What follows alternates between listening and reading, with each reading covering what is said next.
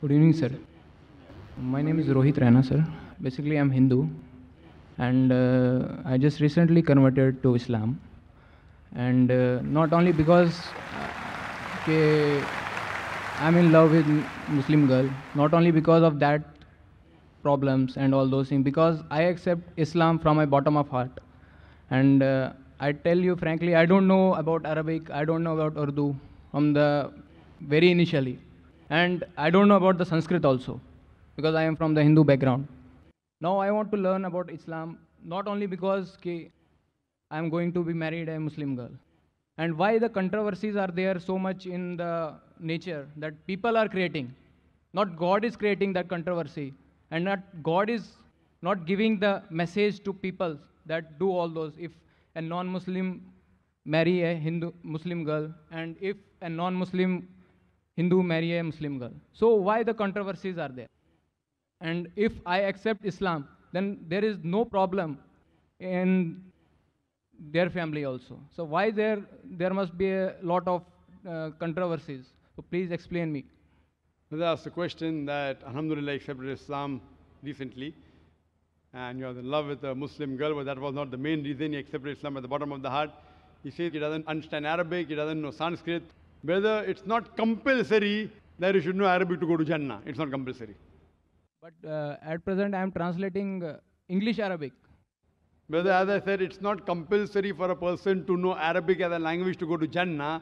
I said if you know Arabic, you can understand the Quran the best. If you don't know Arabic, read the Quran in the language you understand the best. If you know English, read the English translation of the Quran. If you know Hindi, read the Hindi translation of the Quran. What you'll have to do is minimum what is required for your salah. Salah is one of the important pillars of Islam. What is required for salah, that much at least you should memorize.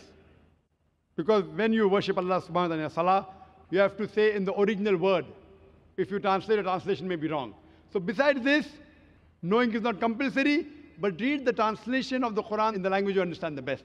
As far as the main question is concerned, that why this controversy, you have accepted Islam, so what's the controversy? As far as the Muslims are concerned, there's no controversy. No, I am not telling about the Muslim controversy. I am telling about the Hindu. Hindu controversy. Why? Why I'm saying?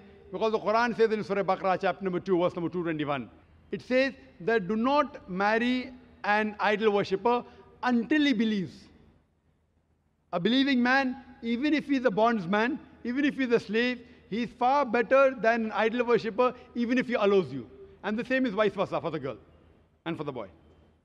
The reason is that when, if you have a vehicle and one tire is of the bicycle and the other of the truck, how will the vehicle run? But natural, all the tires should be similar. And, but natural, any good, pious girl would want that the husband also goes to Jannah, go to paradise.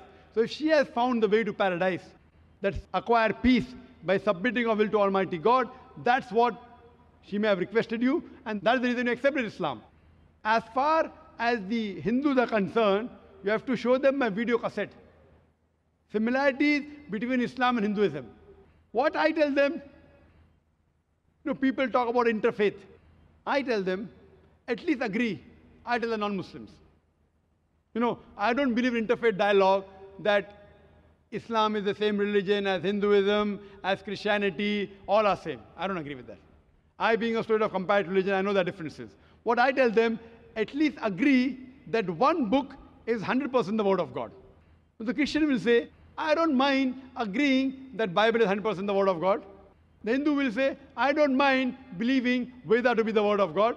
The Muslim will say, I don't mind agreeing that Quran is the word of God. So I tell them that whatever is common in all these scriptures, let us agree to follow 100%. What is different, what is contradictory, we can discuss tomorrow. At least what is common, let us agree to follow 100%. And when we read these scriptures, all these scriptures say that there is only one God. All the scriptures say Almighty God has got no images. He has got no idol. He has got no statue. So let us all of us agree to believe and worship one God who has got no image, who has got no idol. All these scriptures, whether the Vedas, whether the Bible, whether the Quran, they say that the last and final messenger is Prophet Muhammad, peace be upon him.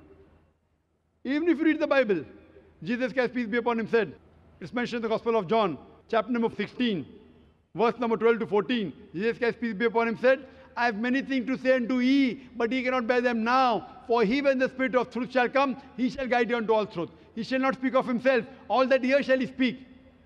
He shall show you things to come. Now here, Jesus Christ, peace be upon him, is telling that I have many things to say unto you, but you cannot grasp my message.